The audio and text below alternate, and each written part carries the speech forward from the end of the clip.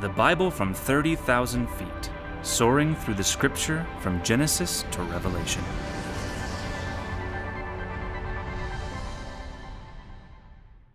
Would you turn in your Bibles, please, to the book of Genesis? Let's begin in chapter 12 tonight and let's finish the book of Genesis. Now, if you were with us last week, and I think most of you were, raise your hands if you were. Awesome. So uh, we moved pretty fast, did we not? So we're going to move as fast at least tonight. So I need to uh, have you buckle your seatbelts, put your heart in the upright position, and uh, we have now officially taken off. We're in the book of Genesis. The book of Genesis shows to us the beginning of everything except God. The beginning of everything except God. It shows us the beginning of the universe, the beginning of mankind, the beginning of um, God's plan to rescue men from sin. It gives to us the beginning of sin itself. It shows us the beginning of the Sabbath day because God rested, the Bible says, on the seventh day. It tells us the beginning of marriage. It shows us the beginning of the family. It shows us the beginning of God's judgment. We see in the flood of chapter 6, 7, and 8. It shows us the beginning of human government, which comes in chapters 10 and 11. The beginning of nations, and now, now we focus the beginning of the nation of Israel. That's what the rest of this book, you might say, deals with. Last week, it was all about the beginning of the human race. From chapter 12 to 50, this is the beginning of the Hebrew race, God's chosen race. So, the book of Genesis, as we said last time, can be uh, seen by looking at four great events followed by four great people. The four great events we covered last time formation of the heavens and the earth, fall of mankind, the flood, the great judgment that encircled the earth, and the fallout of man's rebellion against God in those last two chapters, 10 and 11. Now we go and look at four great people Abraham and his son Isaac, um, and then Isaac's son Jacob, and then one of Jacob's sons, Joseph. Abraham, Isaac, Jacob, Joseph. So if chapters 1 through 11 are about primeval history, then chapters 12 through 50 are patriarchal history. Again, the first 11 chapters are about events. The last section of the book of Genesis, 12 to 50, is about people. And one thing you will discover, that's what God is more interested in. There's more description given to people than to events, even creation. I mean, God's whole creation is summed up in two short chapters. But when he wants to talk about Abraham, he'll give you 14 chapters. When he wants to talk about Joseph, he'll give you 14 more chapters. Because that is what God is most interested in, not the events, but in people. And that is what the book of Genesis does. It is God reaching people. He gets a hold of a man named Adam, a couple named Adam and Eve, a nation called Israel, and finally the whole world when we get to John 3:16 for God so loved the world that he gave his only begotten son. So the theme of the book of Genesis, you might say, at least the theme of this portion of the book is God's selection of a nation so that he can bring forth his son, the Messiah, who will fulfill the promise that he gave in Genesis chapter 3 verse 15, the seed of the woman who will come and destroy the rulership of, of Satan himself. So we're going to begin in chapter 12 with Abraham. We have looked at the lineage of Adam. And then the lineage of Adam was very selective in that it eliminated the line of Cain and the line of Abel and focuses on the line of the third son, Seth. Now we're focused on the line of Shem, one of Noah's sons after they left the ark that we saw last time. Chapter 11 introduces us to Abraham, or Abram, as he is called, but I'm going to pick it up in chapter 12, verse 1. Now, Abraham, that's how we know him best. Abraham is highlighted in three world religions Judaism, Christianity, and Islam. He plays a major role, which indicates his importance. And for our purpose, The amount of scriptural real estate that is devoted to Abraham is noteworthy. As I mentioned, 14 chapters. So, chapters 1 through 11, I don't know if you remember from last week, covers about how many years? 2,000 years. About 2,000 years. 2,000 plus years. Chapters 12 through 50 cover just around 300 years or so. That's what it's limited to, but it's about people. Now, Abraham is important in our Bibles. One chapter in the book of Romans is devoted to him. Two chapters in the book of Galatians is devoted to him. He is called in those sections the father of those who believe. The father of those who believe. Why? Because it will say Abraham believed God, and God accounted it to him as righteousness. Then we'll get to Hebrews chapter 11, where you have a whole listing of people who believed God, and Abraham is one of them. By the way, three times in the Bible, Abraham is known as the friend of God. Isn't that a great title? Isn't that a great nickname? Who are you? Oh, I'm God's buddy. He is the friend of God. In fact, today, to this day, Arabs refer to him as Khalil, which is friend. And Al Khalil is friend of God, and that's the name they give to Hebron because that was the place that he bought a cave for himself and his wife to be buried. Well, as I said, the story begins in chapter 11 in Ur of the Chaldees. That's his hometown. Uh, he is called to leave that place and go to a place God tells him. His father was a pagan worshiper, and his wife is infertile at the time. That sets the stage for chapter 12, verse 1. Now the Lord had said to Abram, Get out of your country and from your family, from your father's house, to a land that I will show you. So he leaves. He goes upriver to Haran until his father dies, then continues his journey to Canaan. Verse 2 God says, I will make you a great nation. I will bless you and make your name great and you shall be a blessing. Now, can I just say at this point, I think this shows, at least in part, the irony of God or even the sense of humor of God. God tells a man who has no offspring and has a wife who is completely and totally infertile, says, Hey, you know what? I'm going to make you a great nation. He's thinking, Nation? I don't even have first kid yet.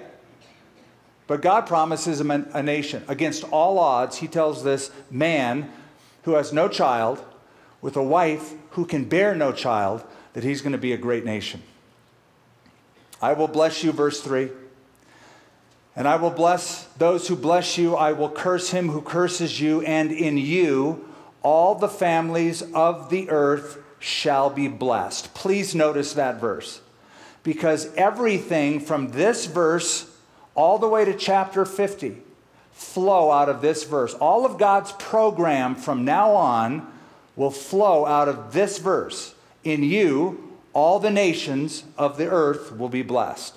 The rest of Genesis, yea, the rest of the Bible, has this as its theme how God will bless the world through the offspring of Abraham, namely Christ. So, Abraham, or Abram, as he is called here, which means exalted father, departed as the Lord had spoken to him, and Lot went with him.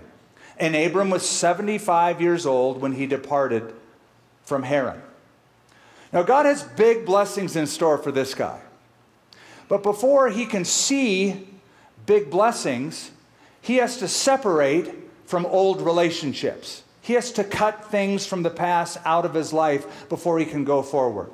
And I think God calls all of us to do the same. Maybe not this, but He calls all of us to make a clean break from our past. It's called repentance in the Bible, and to start all over. Jesus even said, If anyone desires to come after me, let him deny himself, take up his cross, and follow me. So, to the extent that we are willing to leave our old life, that will be the extent to which we will enjoy the new life. So he is called to leave and he is called to be blessed in a new place. In this section, five times God says, I will. This is what I will do. This is what I will do. This is what I will do. The emphasis in the early part of chapter 12 is what God is going to accomplish. Why is this important? Because sometimes, brothers and sisters, we get a little bit cocky, do we not, in our Christian walk? And we think, I'm going to do something great for God. Well, good on you with that attitude. But can I just say, you can't do nothing for God until you realize what God has done for you and what God can do through you. God does not choose exalted people, He chooses foolish people, weak people, insignificant ones. He's on the lookout for those who will admit their deficit and their need of Him.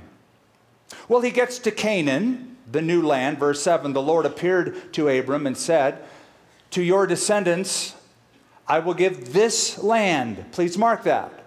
This land, what today we call Israel, that land of Canaan, God is going to make a covenant with Abraham, Isaac, Jacob, and the 12 tribes of Israel for that piece of real estate. It is a land covenant. And there he built an altar to the Lord who had appeared to him. And he moved from there to the mountains east of Bethel. He pitched his tent with um, uh, with Bethel on the west and Ai on the east. Now, when you see that little word AI, I've heard people pronounce it AI, but it's pronounced I. Think I. I. Or, or pirate. I, matey. That's how you pronounce it. That's the city of Ai, a little bit in that area in the center portion of the land. With Ai on the east, and he built an altar to the Lord and called on the name of the Lord. He called on the name of the Lord. Now, in chapters 12 and 13, we have a problem. He's in the land, and the land is called the land of promise or the promised land. He gets to the promised land, and you know what he finds? A famine. A famine in the promised land? I thought it was supposed to be a land flowing with milk and honey. It's a land of promise. He gets there and he finds a famine in the land. You know, if I were Abraham, what I'd be thinking about now? Did I hear God right? Was this was I following the GPS coordinates the right way? Should I have taken a left at Haran or a right or somewhere where else kept that Tigris Euphrates River thing going on? Because why is there a famine in the land of promise? Why would God allow this?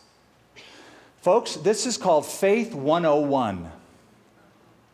Your physical muscles will never develop unless they meet resistance, unless you add pressure to those muscles. When you lift weights and you are tearing down a muscle, you are adding pressure and resistance because in tearing it down, it leaves it now open to be built back up.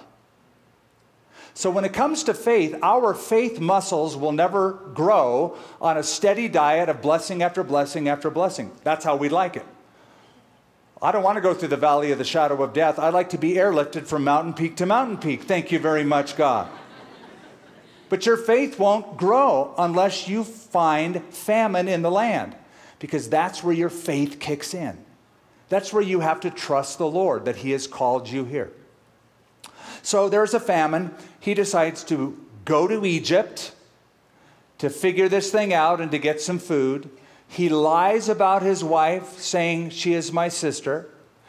In so doing, he endanger, endangers his wife. God resolves it. He gets her back and he returns back to the land of Canaan.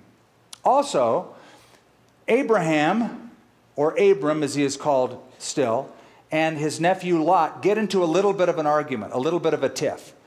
They say, We don't have enough land for our growing families and livestock. So Abraham says, Look, Lot, you can just pick whatever place you want, and I'll take what you don't want. So he looks at the well watered plain of the Jordan, and he goes towards Sodom. But wouldn't you know it? God is so good to Abram.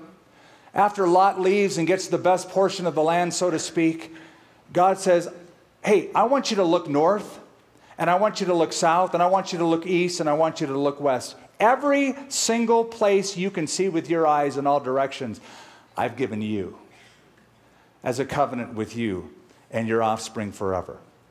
When we get to chapter 14, we smell war.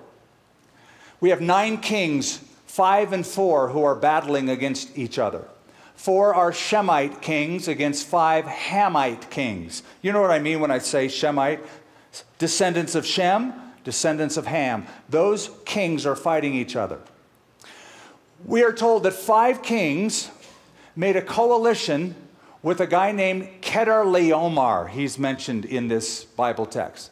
Chedorlaomer is the head king to whom these other nations are paying taxes or tribute. So he is controlling them for 12 years. In year 13, they decide to rebel. When they rebel, a battle breaks out. Chedorlaomer and his contingency win the battle. He takes the spoils of war with him. But, and the reason this is in the Bible, he takes Lot with him, Abram's nephew. Abram hears that his nephew has been taken captive in this battle, so he gets 318 of his trained servants. He had, a, he had quite a household. He had on his payroll a militia, 318 paid, trained servants who were people of war who could fight this battle, and he wins the battle. So he beats the four kings, and we come to chapter 14, verse 17. And the king of Sodom went out to meet him at the valley of Shaveh, that is the king's valley, after his return from the defeat of Chedorlaomer and the kings who were with him. Then, watch this name, Melchizedek. He'll be important in other portions of the Bible. Then Melchizedek, king of Salem, brought out bread and wine. That name, Melchizedek, comes from two Hebrew words put together. The first is melech, which means king, and the second is tzedek, which is righteousness. So his name, Melech Tzedek, is king of righteousness or lord of righteousness. That's what his name means. Notice what he is the king of Salem. Salem means peace. Salem was the name given to a city before it was called Jerusalem or city of peace. That's ancient Jerusalem. So, king of righteousness, who is called king of peace, brought out bread and wine. That's interesting in and of itself. He was the priest of God Most High. In Hebrew, El Elyon, or the sovereign Lord. So, whoever Melchizedek was, he was a monotheistic worshiper. He believed in one God. Not many gods like the Canaanites believed in, but one God. He was a monotheistic monarch who lived in that region. Verse 19, he blessed him and said, Blessed be Abraham of El Elyon, God Most High, possessor of heaven and earth. And blessed be God Most High, who has delivered your enemies into your hand. And he gave him a tithe of all. Now, this is an obscure incident. And everybody asks the question who was Melchizedek? And the reason they ask who Melchizedek was, because this isn't the end of him. We read in Psalm 110 You are a priest forever, according to the order of Melchizedek. It's a reference to the Messiah who would come. That the Messiah would both be, like Melchizedek, a priest and a king. Now, you know, in ancient times, priests were never kings and kings were never priests. They were always separated, even in Judaism. The tribe of Judah, the royal line, that's where the kings came from. Uh, the tribe of Levi, that's where the priests came from. You did never mix them. Melchizedek was both a king and a priest. And so the Psalms say you are a priest forever after the order of Melchizedek, looking forward to Jesus Christ, who will not follow the line of Aaron. He's of the tribe of Judah but he is also a king and a priest, our great high priest. In Hebrews chapter 7, Melchizedek shows up again. And there the author says that he is without father, without mother, without genealogy, having neither beginning of days nor end of life. So, who was he exactly? Well, again, I'm going to let you take your pick. Some say, number one, he was Shem, the son of Noah. How they come up with that, I still really have no clue. but I've read it, so I share it with you. So let's just dismiss that because I just think that's wacky, but you may not, so you may want to believe that. Number two, he was simply some monotheistic Canaanite king. He was a guy, a real guy, who lived there in that town and he believed in one God. That's a possibility. The third, because of the way Psalms and Hebrews treat Melchizedek, some have speculated, oh, he's much more.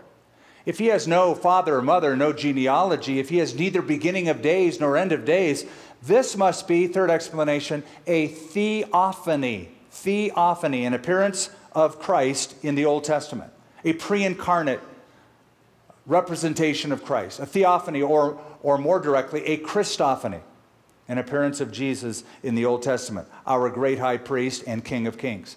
When we get to chapter 15, we have the elaboration of an unconditional covenant. Now, you're going to hear us talk about covenants as we go through the Bible. They're big in the Bible. You need to know what they are. Basically, there were two kinds. I say basically, I don't want to get into too much detail. There were unconditional covenants and conditional covenants. An unconditional covenant, let's call it a unilateral covenant, that is, one party makes a promise and will fulfill it. A bilateral covenant, that is a conditional covenant, there's conditions on both sides. Both parties have to do things for that covenant to stay intact. This is an unconditional covenant that we're reading about here. Now, in chapter 15, Abraham is about 90 years old when God makes his covenant with him. Basically, he makes a promise to Abram that he's going to have what he always wanted and more. He's going to have a son. That's what he wanted. Oh, but he's going to have much more. He's going to have a heritage of offspring. A nation will come out of him, nations will come out of him. And with that will come many hardships to this family of Abraham. I know you've heard the saying, be careful what you wish for, you just might get it. Or be careful what you wish for, you might get more than you bargained for. I heard about a couple, they had been married 60, uh, they were in their 60s, they had been married for 40 years. They were having their anniversary party, and uh, people were there, and while they were celebrating, the good fairy appeared to this couple. And the good fairy said, You have been such a loving and wonderful couple all these years. I'm going to grant you each one wish. And so the wife thought about it. She goes, Well, I've always wanted to see the world. I'd like to travel the world. So the good fairy waved her little wand, and poof, tickets appeared and ready cash for world travel.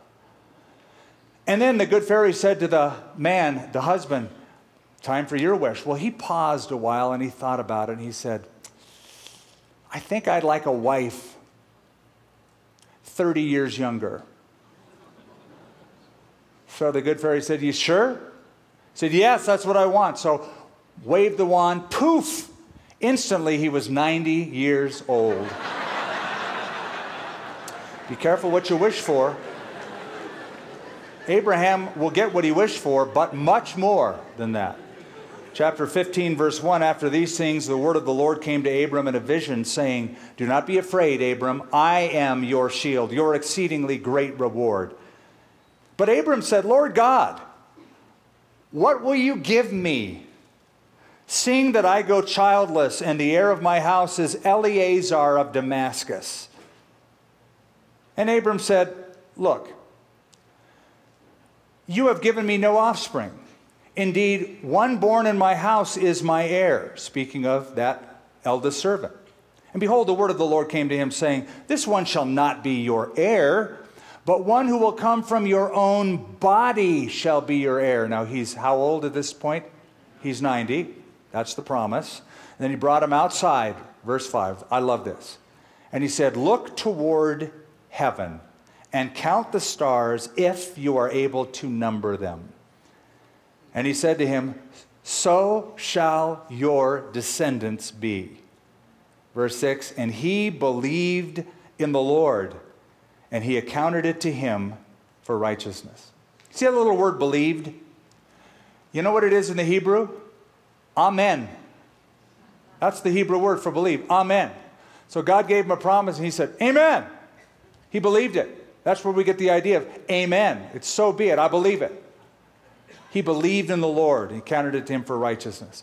So, on some clear, dry Middle Eastern night, God took Abram outside and said, Look up. That's what I can do.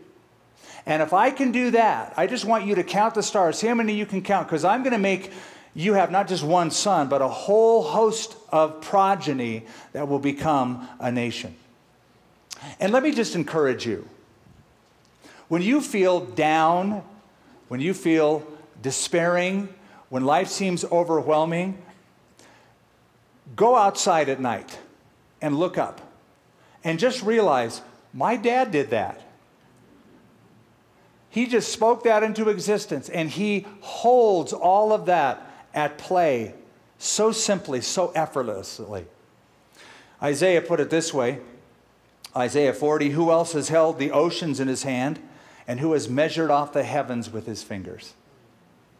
I often like to think of this, especially when I'm out camping and I look up at those stars and I realize I'm looking at a portion of the Milky Way galaxy, just a portion of it. But that, that galaxy, our home, the Milky Way, is 10,000 light years wide by 100,000 light years long. A light year is the time or the distance it takes light to travel in a year. Light travels at 186,000 miles per second. So get this if you could go that fast, 186,000 miles per second, you could circle your Earth, this Earth, which has a circumference of what, 25,000 or 24,900 and some miles in circumference. You could circle the Earth seven and a half times in a second. That's the speed of light, seven and a half times in a second. If you went out to the moon, which is a quarter of a million miles away, you would get to the moon in one and a half seconds. Keep going, you're going to get to Venus in two minutes, 18 seconds. You're going to sail past Mercury in four and a half minutes. You're going to get to the sun in seven and a half minutes. But for you to go from one end of your galaxy to the other is going to take you 100,000 years, traveling at 186,000 miles per second. You know what God does with that? He just says, yeah, it's only about that big. Small stuff, easy for me. So here's God saying, Abram, look at that. So shall your offspring be. This is the God you serve. This is what I can do. I can handle it. Well, in this chapter is a weird set of instructions. I'm just going to cut to the chase. It's a ritual that makes no sense to us in modern society. But in ancient times, it was known as cutting a covenant. There are two words in Hebrew at play in this chapter berit and karat, which means covenant and cut. It means to cut a covenant. And in those days, when you would make a deal with somebody, you would often cut an animal, lay the pieces on either side, and walk between them. You go, that is so gross. What's the purpose of that? The idea is that's what's going to happen to you if you break this covenant. That was the idea in ancient times. So, the cutting of the covenant is highlighted here. God is basically saying, This is how much emphasis I place on my promise. When I make a promise, I'm serious about it. So a covenant is cut. Verse 12, chapter 15. When the sun was going down, a deep sleep fell upon Abram. Behold, horror and great darkness fell upon him. And he, the Lord, said to Abram, Know certainly that your descendants will be strangers in a land that is not theirs, and will serve them and afflict them 400 years. Also, verse 14, the nation whom they serve, that is Egypt, I will judge, and afterward they will come up or come out with great possessions. Now, as for you, you will go to your fathers in peace. You will be buried in a good old age. But in the fourth generation they shall return here, for the iniquity of the Amorites is not yet complete. And it came to pass, when the sun was going down and it was dark, that behold, there appeared a smoking oven and a burning torch that passed between those pieces. Those are the pieces of the animal. So Abraham is like, sleeping, opens his eyes, sees this kind of torch going through these pieces of cut up animals, and a dread comes upon him. After he sees that, God tells him the borders of the land that he promises for Abraham, Isaac, Jacob to inherit.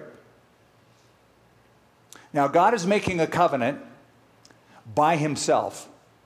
Typically, both parties or whoever is involved in making and keeping the covenant would walk between these pieces of animal. But Abraham looks up and sees this torch. This is the Lord represented that is moving through these pieces. Abram didn't walk through those pieces. He's, he's out, he's sleeping. This is a unilateral covenant, a one sided covenant, an unconditional covenant. God is making a promise and he's saying, I'm going to do it, I'm going to fulfill what I said. If you fail to understand the nature of this covenant, this unilateral covenant God, that God makes with Abram, Isaac, and Jacob for that land, you will fail to understand the place of Israel in God's plan. It won't make sense to you. God is saying, I'm going to give you, not based upon how good you are, but based upon my nature, forever, this land for you and your progeny to inherit. Well, it's such a wonderful promise that in the next chapter, chapter 16, Sarah, called Sarai at this point, it's such a wonderful promise that Sarai wants to help God fulfill his promise. It's almost as if, well, you know, it's such a wonderful promise. God can't really do this on his own. He needs me to get involved, me to help him out. So her plan is look, I can't get pregnant. I'm infertile, right? But I have a handmaiden named Hagar, an Egyptian handmaid. Abram, sleep with her, and she will conceive, and, and that child that is born, that we'll call that God's fulfillment. I remember when I was a boy, my dad would always say, God helps those who help themselves. And, and I remember because he would always say, You know, the Bible says that God helps those who help themselves. So I grew up thinking that's what the Bible says. Then I got saved and I started reading the Bible. And uh, I said, Dad, I can't find it. He goes, It's in there somewhere. and then I remember the day when I found out it was it was not in the Bible. Uh, it, it was Benjamin Franklin that said that. I said, you know, I know Benjamin's in the Bible, but, but that one isn't. And that, that's not in the Bible. And I discovered that God helps the helpless. Not those who help themselves. God helps those who can't help themselves. And so this man is growing older and older and older, and by chapter 17, he is 99 years old. He cannot help himself, nor can Sarah. What's funny about chapter 17 is in this hopeless condition, his name is what by this time? It's not Abraham yet, it's what? Abram, which means what? Exalted father. Exalted father. Chapter 17, God gives him a new name. Abraham, which means father of a whole bunch of people, father of a multitude. Can I just say, how embarrassing for Abraham? Look, I can't have a kid. I don't have a kid. You said I'm going to have a nation. Uh, my name is Exalted Father. That's bad enough, but now you're calling me father of a whole bunch? I got to tell people, hey, I changed my name to Father of a Multitude. It's not going to go over well. Also, God changes Sarai's name to Sarah. Sarai means she strives. Sarah means princess. And it's just a small voice inflection to change it, right? From Sarai to Sarah. But that's how effortless it is for the Holy Spirit of God to change a life. Just a single breath the Holy Spirit means the holy breath or the holy wind. It's just God goes, ah, a life change happens. From Sarai to Sarah. Now in chapter 17, verse 9, God said to Abraham, As for you, you shall keep my covenant, you and your descendants after you throughout their generations. It's going to happen. I'm doing it, but it's extended now to them. This is my covenant which you shall keep between me and you and your descendants after you. Every male child among you shall be circumcised. So, this is the covenant I'm going to do to signify that you're a part of it, that you believe in it, because you're really not going to do it. It's unilateral. You just have to indicate that you agree with it by just having those babies of yours, those male children, circumcised.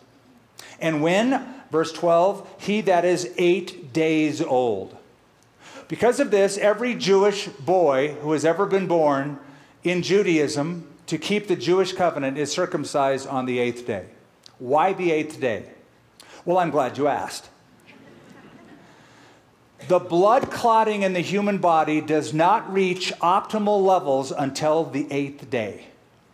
Vitamin K in the human body kicks in between day five and day seven. And uh, another element called prothrombin is below normal levels, but it peaks at 110% on guess which day? The eighth day.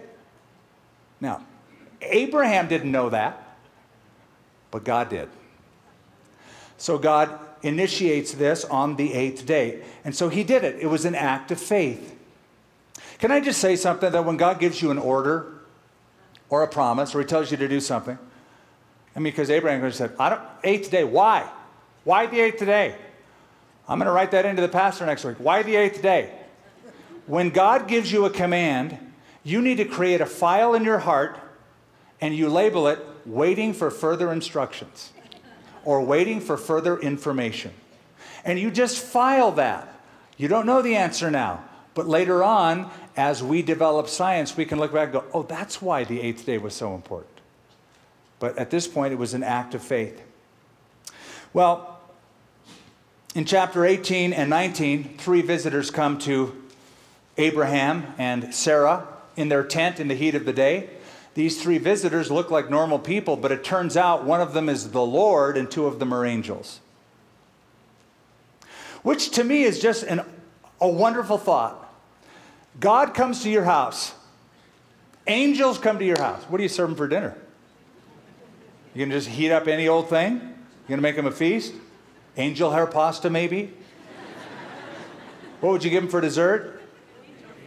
You said it, angel food cake or, or, or devil's food cake just to have a little fun with it, maybe? I, I, I don't know. Well, in, in this chapter, chapter 18, God promises Sarah that she will have a son birthed from her womb. That it won't be Abraham and Hagar, it won't be a surrogate, that she herself, this old woman, is going to birth a son. Now she is on the other side of the tent flap and she hears this and she snickers a little bit. She laughs. And so the Lord, the visitor who is the Lord, said, Why did Sarah laugh? And she said, I didn't laugh. And God said, Yeah, you did. I heard it. She's 90 years old at the time she gets this promise. The visitors get up and they go toward the Dead Sea to that region where they can overlook the area and they overlook the area of Sodom. Now, Abraham is concerned because they announce that judgment is coming to these cities of the plain. Abraham is concerned because somebody he knows lives there by the name of Lot. So Abraham sort of enters into Middle Eastern negotiations. Hey, God, if you found 50 people who are righteous in the city, would you spare them? God said, I'll spare them. If you can find me 50 people, I'll spare the city. Abraham thinks about that because uh, not Sodom. You won't find 50 righteous people there. Would you do it for 40? Sure, you find 40 people, I'll, I'll spare the city. He thinks about that. He goes, hey, 30. Would you do it for 30?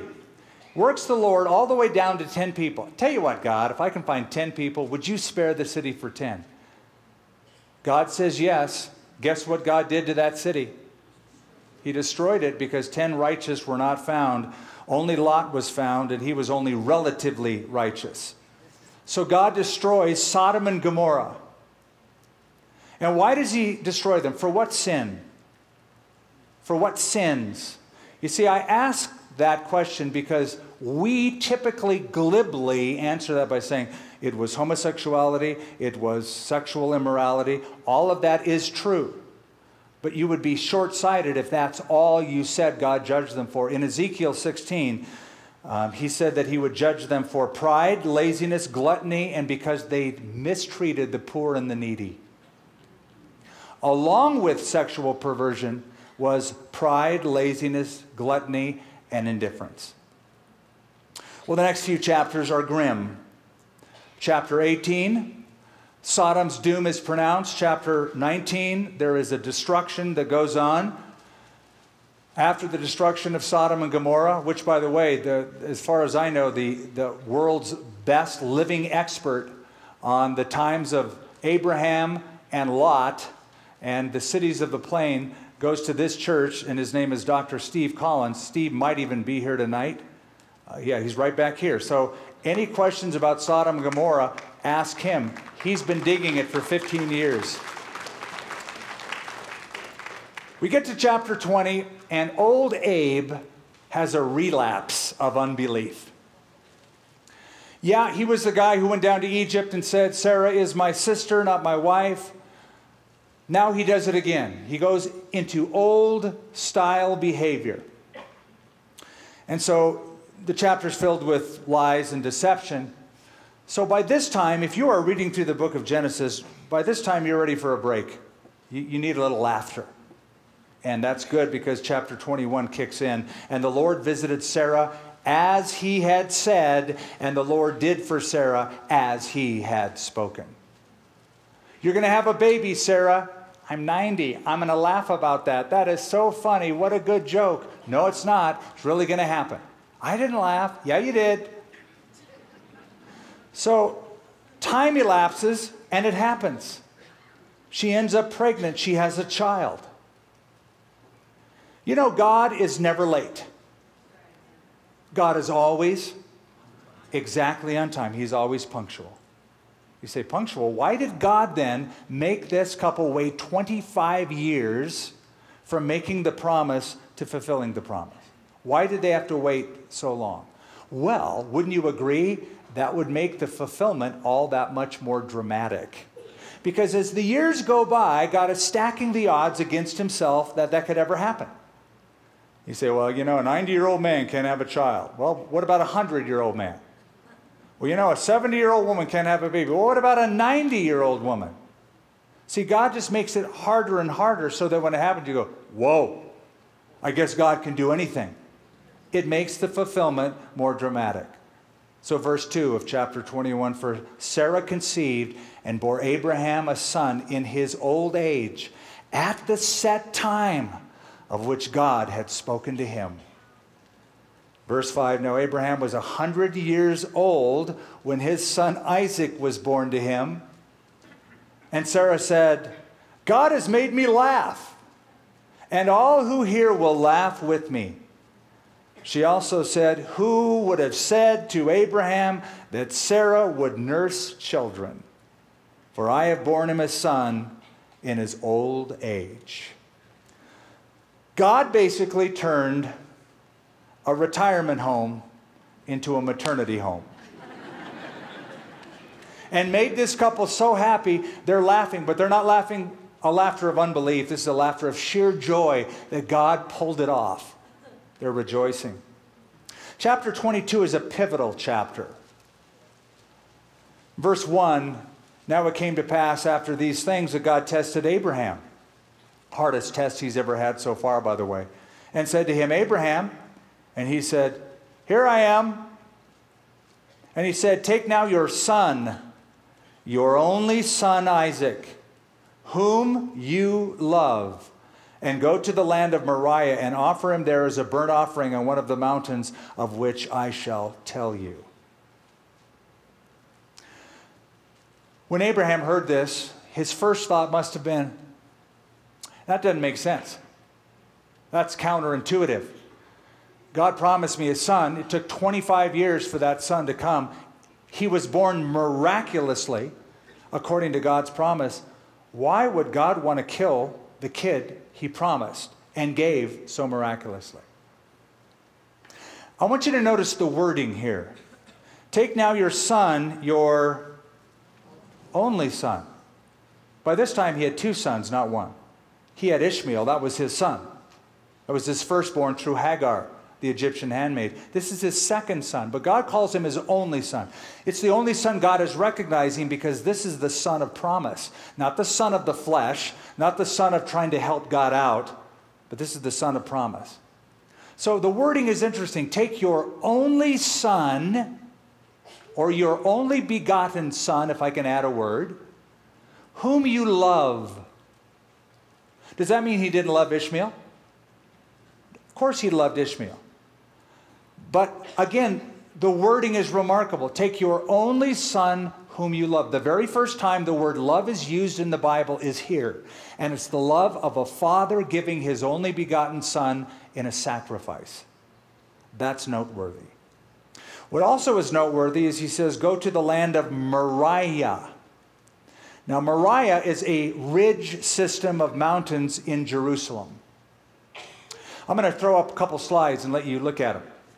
First of all, is a shot of modern day Jerusalem. That is the little section of where Jerusalem started. That's Salem, where Melchizedek lived. It became the city of David. That's the very beginnings of Jerusalem. But then look at how the mountain goes up. And this is the Temple Mount area, right? See how it rises in elevation from down here? This is the ridge of Moriah. Now, notice in the distance, this area is actually topographically taller than this area. This is modern Jerusalem. Let me take you to slide number two. Okay, I showed you David's Jerusalem, Salem. That's right here. See that little tongue? Mark 2 and below. And then above it, you see that area, of the Temple Mount. Today there's a mosque on it. That's where the temple stood. Okay, so this is the ridge of Moriah. It goes from the city of David goes up to the Temple Mount, but then it rises further north of the city. The elevation here is taller than that. Now go to the next slide. I'm showing it to you again. City of David, that's that little tongue I showed you. Temple Mount, Solomon's Temple. The peak of Mount Moriah is further north. So think about it in Abraham's day. Abraham didn't see a temple, didn't see a mosque, didn't see the Hilton Hotel or the Sheraton Hotel or the bus stops. It was all just mountain ridge. For him to go to the land of Moriah and sacrifice his son on top of Mount Moriah, he would have gone north of today the city of Jerusalem because that's the tallest point. Make sense? What's interesting is that that is the region north of that Temple Mount area where it rises up, where we find Golgotha, the place of the skull. So take now your son, your only son, whom you love, to the mountains of Moriah. And on that place where Abraham almost sacrificed his only begotten son, God himself sacrificed indeed, not almost, but indeed, his only begotten son, probably in the same spot or area where Abraham. So that's a significant chapter. It's a foreshadowing of things to come. So, verse 3 Abraham rose early in the morning and saddled his donkey took two of his young men with him and Isaac his son, split the wood for the burnt offering, and rose and went to the place which God told him. Then on the third day, Abraham lifted his eyes and saw the place afar off. What that means is his son Isaac was dead to him in his mind for three days. For three days, he said, I'm going to kill my son. I'm going to kill my son. I'm going to kill my sons. For three days, he had to live with that. My son is going to die. And Abraham said to the young man, Stay here with the donkey. The lad and I will go yonder and worship. Now, watch this. And we will come back. He didn't say, We're going to go and worship, and I'm coming back alone. He said, We're going, but we're coming back again. This is why the book of Hebrews says, By faith, Abraham went to offer or sacrifice his son Hebrews 11, listen to what he says concluding that God is able to raise the dead. Concluding or reasoning in his mind and his heart that God is, God is able to raise the dead. So he brings his son to Mount Moriah, and as he's bringing him up there, he's thinking, God is not a liar. God told me I'm going to have a son. Here is my son. He has to live through this, or else he's going to die and God's going to raise him up. That's the faith he lived with. That's the reasoning Abraham went through as he brought his son. So, I want you to apply that to your hardships in life. When you are facing insurmountable obstacles, I want you to think logically about it. Think like this I'm going to I'm, I'm to reason here. God is able to do anything. I'm going to reason based on God's character, I'm going to reason based on God's ability. and what God has promised. I'm going to bring God into the equation. And then that will raise your faith to a higher level when you start calculating your hardships like Abraham calculated when he was about to sacrifice almost his son. Now, chapter 23, we come to the story of Isaac, and we're going to sum this up very quickly. Chapter 23, Sarah dies. Chapter 24, Abraham knows his son Isaac needs a wife, sends his servant Eliezer to go back to his hometown to find the right wife, to bring a bride for his son Isaac. Turns out to be Rebecca. Let me have a little fun with this. We have Abraham sending out his servant to find a Gentile bride for his son. Ring any bells? The church, Gentile church, the bride of Christ. Moreover, the word Eliezer means the helper or the comforter. So the comforter, the helper, is sent out to go to a country to bring a Gentile bride back for his son Isaac. I just think the Holy Spirit has a lot of fun putting this text together. Chapter 24, verse 64, she's coming back. Her name is Rebecca. It says, Rebecca lifted up her eyes, and when she saw Isaac, she dismounted from her camel. I'm glad that this is the translation. The Old King James says, she lit off her camel. That's old English. She lit off her camel. And when I read that as a young kid who used to smoke, I think, wow, Rebecca lit off her camel. She was smoking unfiltered at the time, I guess. Modern translation. She dismounted from her camel. For she said to her servant, Who is this man walking in the field to meet us? The servant said, It is my master. She took a veil and covered herself. And the servant told Isaac all the things that he had done. Then Isaac brought her to his mother Sarah's tent, and he took Rebekah, and she became his wife, and he loved her. And Isaac was comforted after his mother's death. Did they live happily ever after? Nope. They had kids. they had Esau and Jacob. And that takes us to chapter 27 through 36. Now, Rebekah is also barren, she cannot have children. Isaac prays, she gets pregnant, but it's a very difficult pregnancy. And now we find out why. Chapter 25, verse 23. The Lord said to her, Two nations are in your womb. Well, that explains it. Uh, two nations in there? Come on, no wonder I have a hard pregnancy. That's a lot. Two people shall be separated from your body. One will be stronger than the other, and the older will serve the younger. Now, the firstborn, Esau, uh, he's named that because his, his name means red or hairy. So he came out all hairy, and so they said, We're going to call him Harry. Make sense? The second born came out grabbing the heel of his brother, so they called him heel catcher. Yaakov, Jacob. So Harry and heel catcher are born. Harry was an outdoorsman, liked to hunt, fish. Jacob liked to cook soup with mom in the kitchen. So he waited till his dad got really old and couldn't see because he wants to take the blessing, which he does. Chapter 27, verse 18. So he went to his father and he said, My father. And he said, Here I am. Who are you, my son? And Jacob said to his father, and he probably had to lower his voice, I am Esau, your firstborn. Because he probably didn't naturally sound like that. I have done just as you told me. Please arise, sit, and eat of my game, that your soul may bless me. Verse 21 Then Isaac said to Jacob, Please come near that I may feel you or touch you, my son, whether you really are hairy, you know, like Esau, or not. So he steals the blessing.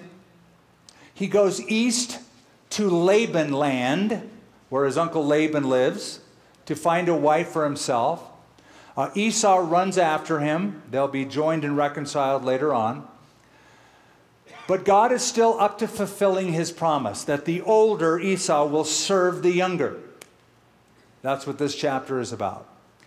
On his way to Laban land, he lays his head down on a rock at night and he has a dream. He has a vision of angels going from heaven to earth and earth to heaven.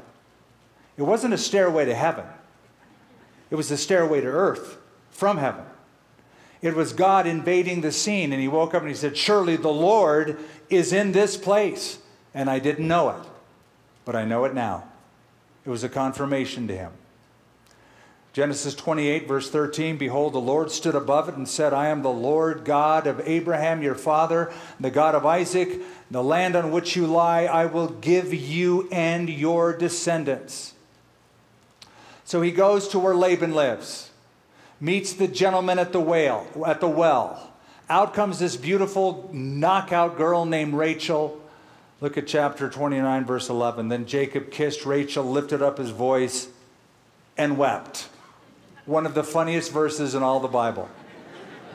Because she's thinking, what? Was it the garlic I ate? I mean, this is a weird date. He ends up working for her father for 14 years.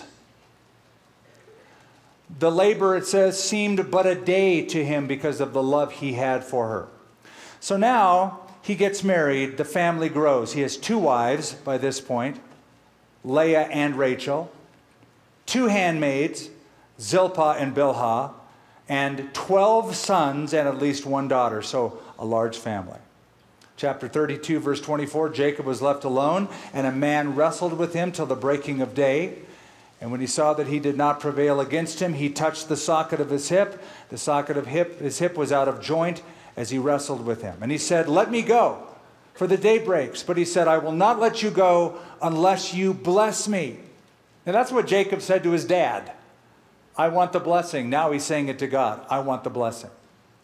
God changes his name from heel catcher, Jacob, one who fights against God, one who tries to grab something on his own, to Israel, one who fights with God, victoriously fights along with God.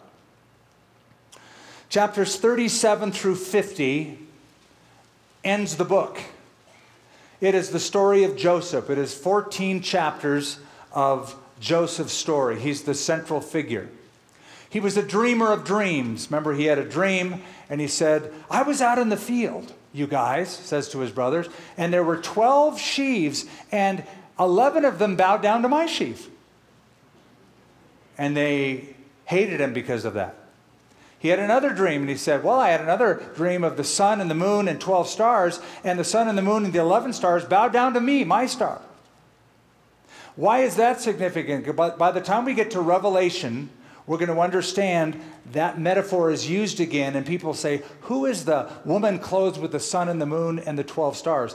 We now know from Genesis it's the nation of Israel because that is how Jacob interprets the dream to his son. It's a representation of all of us, the 12 tribes of Israel, your mom and me, bowing down to you. So that unlocks a very important prophetic piece later on. Well, he is sold to the Midianites, he is taken to Egypt. He is uh, accused falsely of coming on to Potiphar's wife. He is placed in jail with a butler and a baker. They have these wild dreams. Joseph says, One of you will be raised back to Pharaoh's employment, another of you will have your head chopped off. But remember me, he says to the butler, when you go back to work for Pharaoh. Two years go by, doesn't remember him until Pharaoh has a dream. Pharaoh has a dream seven emaciated cows coming out of the river, seven fat cows. Remember the story? The seven emaciated cows do what? Eat, consume the seven fat cows, but they're not fatter. Then he, he sees bundles or sheaves uh, of grain, seven plump ears of grain, seven withered ones. And the withered, withered ones consume the plump ones, but they don't grow any bigger. Genesis 41 25, Joseph said to Pharaoh, The dreams of Pharaoh are one. God has shown Pharaoh what he is about to do. The seven good cows are seven years. The seven good heads are seven years. The dreams are one. The seven thin and ugly cows, which came up after them, are seven years, and the seven empty heads blighted by the east wind are seven years of famine. He tells Pharaoh, Prepare for seven years of hell on earth, worst famine you have ever seen that will affect this part of the world. He does so. Verse 37 the advice was good in the eyes of Pharaoh and the eyes of his servants. And Pharaoh said to his servants, Can we find such a one as this, a man in whom is the Spirit of God? So he is promoted to the second most important authority in the land of Egypt. So Pharaoh's chariot, his license plate said Egypt 1. Joseph's license plate said Egypt 2. He was like the prime minister, he was second in command. The famine hit hard. Even the people down in Canaan were hit hard by this famine. Jacob, the father of Joseph, the father of the 12 tribes, sends his boys to Egypt to get grain, but leave their youngest, Benji. Benjamin, the youngest, stays at home. I love him, I don't want anything to happen to him. So the boys go to Egypt. They see Joseph, they don't recognize him. He's had an extreme Egyptian makeover. He's garbed like an Egyptian. He walks like an Egyptian, talks like an Egyptian. He is an Egyptian. They don't recognize him.